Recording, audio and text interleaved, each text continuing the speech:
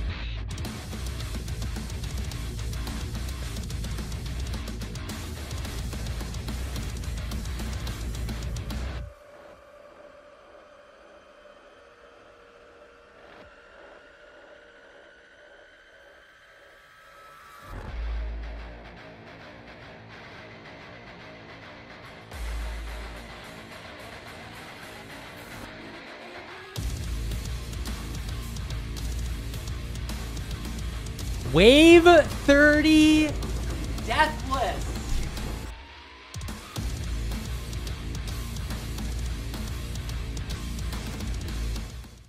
Hey, what's up, everyone? This is my Vaal Ice Shot dex stacking Deadeye that I've been working on for about the past month. This is the absolute opposite of a budget build guide or anything like that. This is just a build showcase. If you're interested in what this looks like at a lower investment, I did make a 10 Divine recommendation video a few weeks ago. You do need to be a little bit creative putting it together at 10 Divines, but it can run T16 Deli mirrors very cleanly and very quickly at a lower investment. What this represents is me really spending the past few weeks pouring everything that I could into it. In terms of budget, the budget is just yes, if you can spend the money, do it.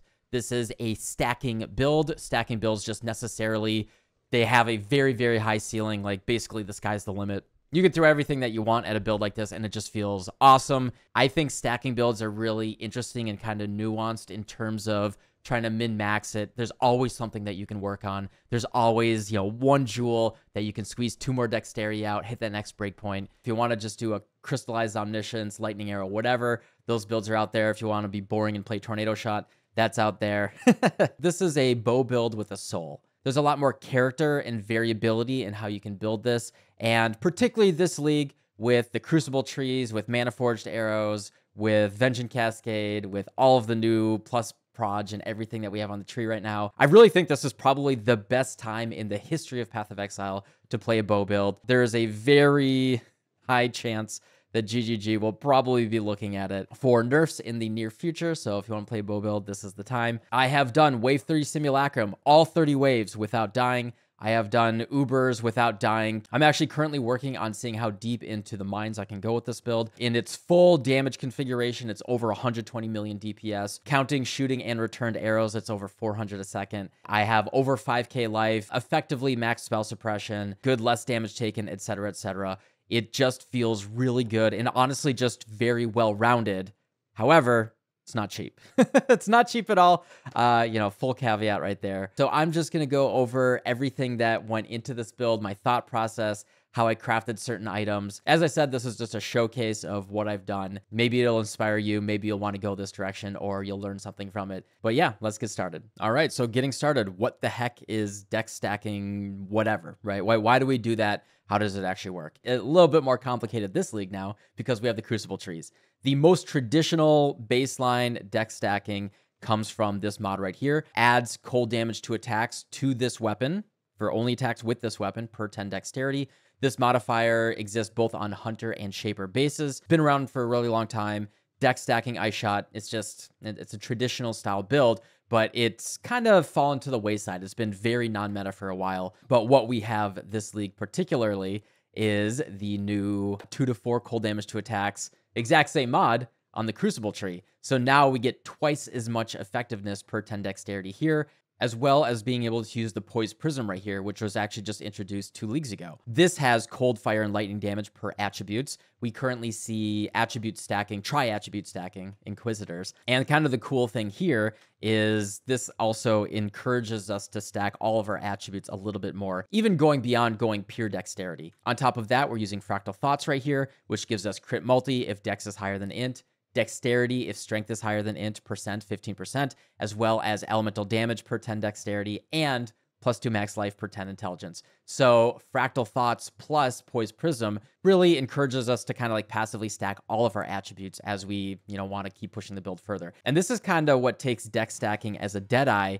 a little bit in a different direction than it used to be in the past. Old versions of this, we'd see like 120 strength and 119 intelligence just to hit the fractal thoughts breakpoint, but you're not really going all out in all your attributes. But we get that this league, which is really cool. So I'm like kind of tri-attribute stacking here a little bit, but dexterity is obviously the main thing that we're going for. So the combination of the crucible tree, the prefix modifier on my bow, and the poise prism all combined gives me five to nine flat cold damage per 10 dexterity. So with 2,331 dexterity, that's 233 stacks of 10 dex times 5 to 9, let's just average that to 7. That gives me a base cold damage of 1,631 from just my dexterity. And then because Ice Shot has higher effectiveness of added damage, that all gets multiplied times 1.76 for a lot of flat added cold damage to my attacks. And the bow obviously is kind of the critical part of what enables this build. So we craft the bow with deafening essences of hatred. You basically just want to spam it until you get both your prefixes. It is a pain in the butt. It can take a lot of essences. If you do ever hit an open prefix with the cold damage to attacks,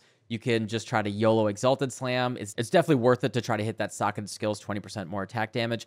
Now, if you want to go for the cheaper version, you can do Prefixes Can't Be Changed, Aisling, or honestly just use a Veiled Chaos Orb and try to unveil 15% elemental damage penetration on the prefix. It's not quite as good, but it's not bad. However, in that case, you will have a little bit more of a struggle crafting your suffixes because you won't be able to get a chosen mod on the suffix there. The way that this bow suffixes were finished were prefixes can't be changed, veiled chaos orb, unveil the attack speed, craft crit chance, and then YOLO slam T1 crit multi. so yes, a very lucky suffix craft right there, but it's not super hard. It can get a little expensive doing prefix can't be changed, reforged, or whatever, but it's not like a hard to hit thing. So yeah, that is how the bow was crafted. In terms of the tree, I have the two to four right here. This only comes from combining crucible trees on bows. So you have to go to the geodes down here these guys. Contains a forge that can combine trees. It's a mutated modifier, just like Rampage. Just throw bows in there until you get it or buy it yourself. Last time I saw, the price of this was about 20 divines to get it on a bow by itself. And then obviously when you're crafting this, you want to start with the tree first because you're going to be imprint, smush things together, try to get a good tree. So the rest of my modifiers are increased attack speed, 50% less global damage, 30% local attack speed on the bow is very valuable. It still translates to about 8% more damage on the build. And then just, you know, more attack speed just feels better regardless. This leech node is absolutely incredible. You get attack damage leeches life like any attack damage, it's not elemental or physical based. And you get 60% increased total recovery per second from Life Leech. What this means is you're usually capped to 20% of your max life per second from Life Leech. This goes up 60% on top of that. This gives you 60% increased. So if you're still at 20%, this brings you up to 32% life per second on your life leech, which is absolutely incredible. This node right here is incredible. It entirely solves all of my intelligence issues. And because we get life per 10 intelligence on our fractal thoughts, we actually get a lot of life from this as well. And then Barrage and Frenzy have crit chance per endurance charge. I have no endurance charges on this build. This node does nothing. Obviously, even better would be getting 10% uh, dexterity and strength nodes. Unfortunately, this tree doesn't have any, and I have no desire to try to reroll anything on a tree here. Anyway, that's my Crucible passive tree. That's my bow, and then critical strike chance on the enchant from Harvest. This is really what enables the build with the Fractal Thoughts with a poise prism as well. And then in terms of like the clear and with the with the projectiles, I have plus one pierce crafted on my gloves, one chain on my poise prism, and then two chains up here in the uh the ricochet. So the clear is absolutely cracked. You know, every time that I shoot, there are so many arrows on the screen. So that's really the baseline for what puts the build together. Besides that, the rest of the build is basically min-maxing as much dex and quality life as you can get. And I find that a very interesting challenge. It's fun having a near infinite ceiling on your build. The rest of the core of the build is really identical actually to the 10 Divine Vaal Ice Shot video. So watch that for a deeper dive, I guess, into all of the other pieces, but I'll go over them very quickly. For our auras, we're running Grace, Herald of Ice, Hatred, and Anomalous Precision right here. I have an absolutely cracked Watcher's Eye. We were not able to find another Watcher's Eye like this, actually, both in standard, offline, and in League, but obviously there's probably some that are rotting in a stash tab in standard, but I was able to pick this up for 15 Divines, which is obviously a ridiculous price. Critical strike chance affected by hatred. Movement speed affected by grace. I very much value movement speed. This is a mapping build. The point of this build is to map quickly as possible, and so I value that a lot, as well as flash charge when you deal a critical strike while affected by precision. This does have an internal cooldown of like 150 seconds. It's only one flash charge. It's not incredible, but I do notice that my flash sustain is a lot more consistent while I'm mapping, and you can sustain your flash a little bit better when you're bossing as well, which is pretty nice. So yeah, that Watcher's Eye with these auras is a is an absolutely cracked combination. Our primary links in our bow are Vaal Ice Shot. Vaal Ice Shot is very important. Uh, it is one of the coolest new skills in the game. Awakened Cold Pen, increased critical damage support, Awakened Wed, and Anomalous Inspiration support. That is one of the kind of complicated balance points in this build.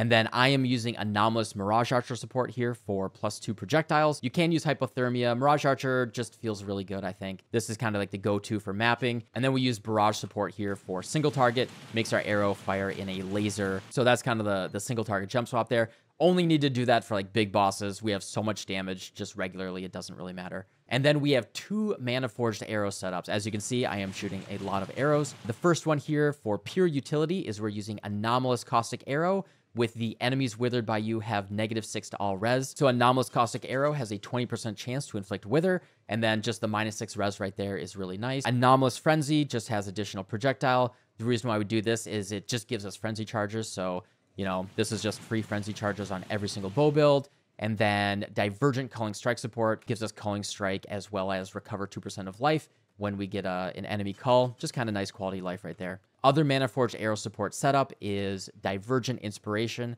with Power Charge on crit. So we get Power Charge generation very consistently here.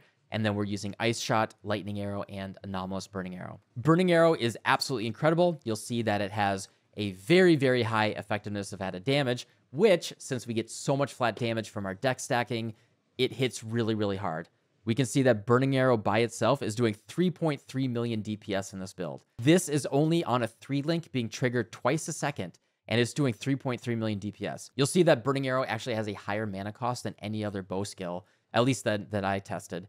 And because of that, it makes it very challenging to balance the mana cost for triggering Mana Forged. And we'll go over that in a second. And then I just have Steel Skin on left click, keeping it simple. Anomalous Flame Dash, so it goes very, very far very big fan of Anomalous Flame Dash. Like, it goes two thirds of a screen. It's pretty nice. And then Divergent Mark on hit, and I am using Anomalous Assassin's Mark right here. Check out this video right here, finding the best curse for Vengeance Cascade, if you're interested in why I'm currently using Assassin's Mark. I explain that in a lot more detail. And then, yeah, right here, the budget dex stacking Ice Shot. Check that out if you want like a deeper dive in all the mechanics in the build. I'm going to go over all of them in this video anyway because I can't help myself. But, but if you want a different wording of it from a couple weeks ago, you can watch that video. but yeah, that's our full gem setup. And then in terms of the rest of the gear, we have two rings here that have dexterity on the implicit. I bought both of these bases for about six divines. I know the price is much higher. As always, with an expensive build, like this, my recommendation is, you know, if it's too expensive for you, this league, you know, set up some trade snipes, get ready for it, and prepare to play it in a future league. I know it sucks if things get nerfed, but that's really, you know, if you want to always play something a little bit cheaper with the rotating meta, this is just general Path of Exile recommendation. The price of everything varies so greatly. Like I can make a video and then within a day, the price of everything that I said in that video can vary dramatically the thing to me and what's important about this content that I put out is I, I want you to memorize this stuff, like remember it, and it'll jog your memory in one, two, or three leagues in the future. You'll remember, hey, I wanted to play that build, or that seemed like a good farming strategy, and no one's talking about it right now. Let me just double check things, and all the prices might be way lower. The economy in this game is just so fluid and dynamic. Yeah, as soon as a video is posted, things go out of date, but it's about the knowledge and what you gain by learning about that stuff that you can apply in the future. That that's what matters. I've easily spent probably about 300 divines on this build, and if you try to put it together today, might cost you 4 or 500. But if you remember this in the future, you know, hopefully you can put it together a little bit cheaper. So just quickly go over the jewelry here. Vengeance Cascade, like I said, is the the go-to It makes our arrows return. It's like kind of the main reason why bow skills are so strong right now. In terms of crafting this, you want to use an Awakener's Orb, combine the increased dexterity with the increased attributes. Suffixes can't be changed. You want to use a Wild Bristle Matron to save some currency. And then you want to do Reforge Influence, which will cost you about 1.5 divines every single time you do it. It's going to cost you 5,000 blue juice as well as one sacred crystallized life force. This will cost you in the range of 1 to 1.5 divines plus the 1.5 divines for the wild bristle matron. So it costs about 3 divines every time you go for the damage per dexterity and it is a 1 out of 36. You know, just so you know, that's uh this is an expensive hardcraft. And then we YOLO slammed the uh the elemental pen. So that was a very lucky hit right there, of course, but that is what it is. And then both of the rings and the belt were crafted with essences of sorrow right here. this essence may cause you a lot of sorrow in your life if you try to put together a dex stacking build. Looks like you can get about 65 per divine right now. The general idea is you want to go for as much res as possible because we're stacking attributes that's taking up one of our regular suffix modifiers. And we have some mandatory uniques in this build that aren't giving us any res. That is a big pain point in putting this build together. So essences of sorrow, until you hit enough res. I actually want T1 strength right here. It's absolutely critical to have more strength than intelligence. You can see that mine are actually really close. That's because we want that 15% increased dex if strength is higher than int. Essences of Sorrow until you hit good things, ideally double T1 res. Suffixes can't be changed, reforged life, whatever. Whatever it takes to craft all these. Veiled Chaos Orb here, just to guarantee life. T1 life would be better here, but it is what I got. This one's got T1 elemental damage with attack, so I kept that. Kind of like whatever. I could go for a little bit more life here if I wanted to. And then we use intrinsic catalyst on all of these to make sure we have the plus 20 on the attribute modifiers. This is an increased dexterity synthesized belt. This base cost me 1.5 divines. The regular ones will cost you one divine. These ones are not particularly expensive. However, give you a little tip here. We want to do uh, implicit dex right here, percent dexterity. We want to set minimum to 13 right here, belt, increased dexterity. We want to say synth is yes, corrupted is no. And here's the most important thing set your max quality to zero. The thing is, the trade site doesn't do a very good job. Also, because we want T1 res, we do want item level of 84 plus. You'll see that there's a couple here at one dexterity. The problem is, unfortunately, the trade site doesn't properly account for not having max quality. So if I don't have that turned on, you can see ones that will say, look at this. So here's here's what can happen, right? These are basically scams where someone took a T2 dexterity roll, they put on the intrinsic catalyst, and then they listed it. If you mouse over this, you'll see it's actually only 10 to 12 and it's not 13 to 15. So don't get scammed there. Make sure you set that quality to zero. These two are scams. Now, luckily, looks like no one has fallen for the scam in five days, but this one's listed even lower. AFK. In fact, I'm just going to ignore these two people because they're they're scammers. All right. Anyway, back to the task at hand. Gloves, nothing crazy. I bought Fractured T1 Dexterity for like 5 Chaos. Also, we basically want all evasion rating bases. We don't care about armor or energy shield whatsoever, so all pure evasion bases. Bought Fractured Dex for I think like 5 to 10 Chaos. Hit it with a couple essences for Chaos Res and a T1 Res. Suffixes can't be changed, Reforged Life, whatever, Veiled Chaos Orb, however you want to craft it, and then craft uh, projectile gems right there. I am going for chance to suppress spell damage and intimidate on my implicits. Boots, I bought Fractured T1 spell suppression. I think it was like 50 chaos. Essence of Sorrow for dexterity until I hit a res on the suffix. And then suffixes can't be changed. Wild Bristle Matron, Veiled Chaos Orb, and try to unveil that onslaught. For the implicits, we want action speed and cooldown recovery rate of travel skills. For me, that's really the best. Also, I did not go for ailment immunity in this build. I did not find it was necessary. I could do wave 30 simulacrum, deathless, all 30 waves without ailment immunity. There is no reason to absolutely go for it. You know, if you want to, you can do a storm shroud setup. You can do uh, an ancestral visions. You can do a fire song. I did not go for that. I don't care. I leech and have life gain on hit at a thousand life per second. I do have freeze immunity here. I'm using Soul of the Brine King for freeze immunity and reduced effective chill, as well as Soul of Abberath because I'm running red altars. If you want to, Ancestral Visions, again, you can use Storm Shroud, Ancestral Visions, craft this a little bit differently if you care. I did not personally care. I'm not dying to ignite. Yeah, sometimes a big shock is annoying. I don't really care. You can do that if you want to. And then last up for the items, we have the body armors right here. Base recommendation is the Queen of the Forest. Running fast is fun. I was wearing this until two days ago. This was my go to body armor. just being able to run really, really fast all the time. We don't need more damage. Even with the Queen of the Forest, I'm still at 70 million DPS. That's totally fine. You don't need more damage than that for basically anything in the game, but this Grasping Mail makes me significantly tankier, tons and tons of damage. This is really just for like high-end showing off type of stuff. This is not necessary whatsoever. Queen of the Forest, you can just buy them for 10, 20 chaos, double corrupt them, try to get something decent. Socket of projectile gems, not really the best actually. Bow skills don't get much at all out of additional gem levels. Ideal here would actually just be 50% increased damage and probably plus one all max res. But yeah, this is just my mapping body armor. This is what I wear when I'm running around, just kind of mapping really, really quickly. And then if I'm gonna do harder content, this is the this is the baby's pajamas. We crafted this yesterday. It cost a grand total of 120 divines to craft, but that's because I made a perfect body armor. I definitely could have settled for something very solid and good for a total price of like 70 divines but I went for perfect, perfect here. So, you know, that's why it costs more. We actually only need eye level 82 for this craft, but I went for 86 because that's just what was available. I bought the base for 57 divines. The price will vary greatly. I've seen it between 45 and 75 for just the fractured base. I saw it at 57 the other day, so I bought it. How I crafted this was essences of life, greed, until I hit the T1 evasion rating with the max life. Prefixes can't be changed, veiled chaos orb until you get a prefix.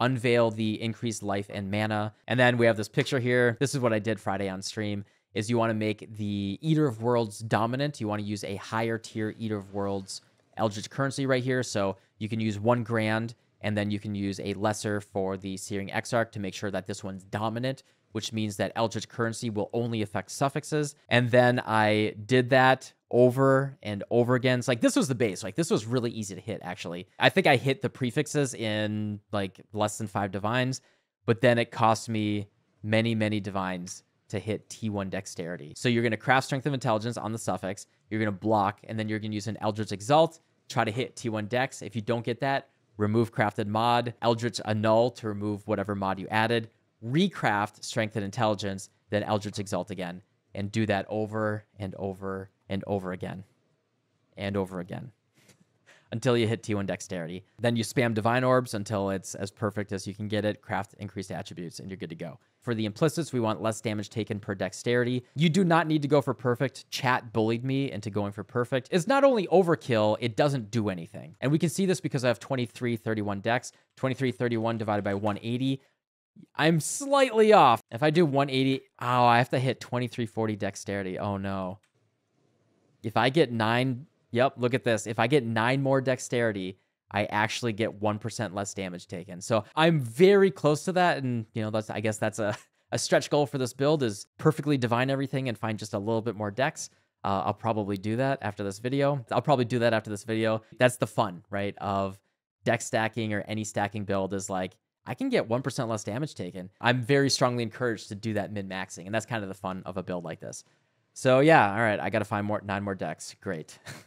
and yeah, so that's all of the gear. And then in terms of the jewels in the passive tree, what we're doing here is you'll notice this orange line. We're stretching all the way down here, and this gives us two split personalities. Split personalities are delirium jewels that get stronger the further they are from where you start on the tree. So that's actually why I have this kind of awkward pathing that goes around like this, because the longer this path is, the more dex and strength that I get from these jewels. In terms of the small jewels, you want res, you want crit multi, you want life, attack speed, stuff like that. That's just kind of like the general go-to. Penetrate on the implicit if it's corrupted is really, really good. Chaos res is hard to get in this build. You'll see that I only have 6%. It is just really hard to get. But since I'm using Progenesis, I have 41% all the time. It's acceptable. I'm using this Brutal Restraint right here, which gives me 5% dex, 5% dex, 5% dex, and plus 20 flat dex. Really, really good. This is the best brutal restraint for this build. 7737. Last I saw, none existed on the market. So, you know, that can be hard to get. If you're putting together the dex stacking build, again, strongly encourage you to watch this video. I talk about how you can search for your own brutal restraint, but this is the perfect one if you want to go for it. And then in terms of the large cluster jewels, we want to go for dexterity, all attributes, increased effect, and arcing shot because our projectiles, we have far shot. We want the projectiles to go as long as possible. You know, arcing shot's really good. We get crit chance and 50% increased damage. You know, and since we have Vengeance Cascade, the arrows are going really, really far. that's, uh, you know, we're basically always getting the max effective arcing shot. And it does stack, so we have two arcing shots right here for 200% critical strike chance and 100% increased damage. I'm currently at 89% spell suppression, but lucky, so that does end up being calculated at 99% spell suppression. I am okay with not, you know, having exactly perfect spell suppression. 99% lucky, I think, is okay. This large thread of hope is absolutely cracked. We get King of the Hill, Master Fletcher, Primeval Force, One with Nature, Quick Step, Aspect of the Eagle, and Multi Shot. This is the way for this build. For the Ascendancy, while I'm mapping, I like to use Ricochet with Endless Munitions through Far Shot and Gathering Winds, of course. But if I want to just fight Ubers, if I'm doing hard content like Simulacrums, then I do switch to Focal Point. Less damage taken from enemies near the marked enemy is obviously incredible. And then 75% increased effect of your marks. You can see what this does to my damage. This is actually with it allocated right now. So with Ricochet, I'm at 108 million DPS, and with Focal Point, I'm at 121.6 million DPS. So I leave Ricochet on 99% of the time, but if I'm trying to do something really, really hard, uh, you know, doing Ubers or something, Focal Point is is a really good swap there. Then in terms of flasks, I'm using Dying Sun, Progenesis, Oriath's End. Oriath's End is absolute overkill for clearing, but for high density maps, it is noticeable. And then a very strong Diamond Flask and a very strong movement speed Quicksilver Flask. If you want to get tankier, Taste of Hate, you can replace either Dying Sun or Oriath's End. 15% Fizz taken as cold is incredible, especially since we have less damage taken in our cold res. This is actually even stronger. And then obviously, if you're bossing or something, put in a Life Flask over like Dying Sun. Because we have so much dexterity, that's giving us more evasion here. I actually have 80% evasion like this, which is pretty cool. And that's with the body armor that gives me almost no evasion. If I put on the Queen of the Forest, which is my regular mapping setup, because I just want to go fast, right? I actually have 85% evasion with no Jade Flask or nothing. If you toss on a Jade Flask, it does go to 88%. So, you know, pretty incredible if you want to do that. I find it absolutely unnecessary. We're killing everything way off of the screen right here, right? So many arrows, so many arrows. Everything dies, like, unless I stand in a dot or something, I basically never die. And then, yeah, like I said, for single target, I swap in Barrage for really big single target, and then I use Mirage Archer for regular clear. All right, and in the initial recording, I realized that I actually forgot to... I started mapping, actually. Uh, I forgot that I missed talking about the mana cost with Mana Forge, and that is actually super, super critical with this build. Let's just put this away real quick. So the way that Mana Forged arrows works is it has a 200% cost and reservation multiplier, and once you have spent with a bow skill at least 300% of the mana cost of the skill that you're trying to trigger, then it will trigger that skill with a cooldown of 0.5 seconds on the baseline. So you can see that I have it set up so my ice shot costs one mana, and all of my other skills, I actually have them costing zero mana. I am able to do that by using the Life Master here for skills cost life instead of 30% of the mana cost. So if a baseline skill costs 12 mana, it will go to 8 mana and 3 life. And what that does is it makes it very, very easy to solve most of your mana cost issues. And to the point where I actually think this is like this is going to be the new replica Conqueror's Efficiency for everybody these days, as long as you have some sort of life sustain and you're not CI. With that plus non-channeling minus seven on all three of my main jewelry slots right here, as well as using inspiration in both of these links, I am able to get the mana cost to all of my triggered skills to zero. Now, your primary skill has to cost at least one mana, so you know always look at your ice shot, make sure that costs one mana, and then as long as your other ones will cost zero mana, it will always trigger one available. Now, if they do end up costing one mana, right, that means I have to make my ice shot cost three mana. And that's really annoying to do. It's not that the mana cost is an issue, like my mana doesn't even move. The problem is that when you have non-channeling skills, like any global minus mana cost, that makes all of them go down. So very specifically, actually, I'm using anomalous inspiration support here and divergent inspiration here so that these ones get more of a mana cost reduction whereas anomalous here doesn't get that as part of the quality. So yeah, that is how you deal with mana. Always be very careful with that. Like it's very easy to mess up. In fact, I'll, I'll show you really easily here. And then you'll notice here that my lightning arrow costs two mana, but burning arrow costs four mana. And then my ice shot is costing six mana. So I am able to trigger the lightning arrow consistently, right? This costs six, lightning arrow costs two, because there are mismatched mana costs where burning arrow costs 13 mana base right here and lightning arrow costs 11 that will then get you into a weird situation where, you know, if I set my lightning arrow right here, you can see that they're not triggering at the same like always rate, right? And then if your mana cost is too high, right? If you're not spending mana and you're just attacking, then you're not going to trigger anything. So that's the thing that you really have to be conscious of is look at your mana costs, make sure that they line up properly. If you're doing body armor swaps or anything, make sure your mana costs aren't being altered. If you change any support gem, right, like your mana costs are set by that cost and reservation multiplier. And so if you gem swap and you're like, oh, this support gem is 130 and this gem is 150, right? Like my ice shot is one mana here and now it goes to three mana. And, you know, depending on what gems you're swapping or anything, that can make a big difference and break your Manaforged setup. That is just another thing to balance in this build with the dexterity and all that type of stuff. So anyway, back to the original recording. All right, that was a lot of talking. I just wanted to share with you guys, you know, basically this is my build of the league, honestly. The crucible mechanic is not that much fun to interact with. I'm that's what's stopping me really from playing more builds this league. Uh, and just how much I'm loving and enjoying this build, like so many arrows, right? how much I'm loving and enjoying playing this build. It does everything I needed to do. I'm actually currently very slowly working on seeing how deep I can get in Delve. And yeah, I mean, if I can take this to like 600 Delve, that'd be pretty cool. It's a great feeling build. And if you want to play a bow build that absolutely will eat your currency, but it will reward you for that. And it's very satisfying and interesting and a fun puzzle to solve. You know, consider playing this over the regular Omni, Lightning Arrow, or whatever tornado shot that everyone else is playing. If you want to play something a little bit hipster, a little bit different, and is uh, you know very rewarding as well for the effort and uh, and time and money that you put into it. But yeah, that's it for me today. Hope you enjoyed, and I'll see y'all tomorrow. Goodbye.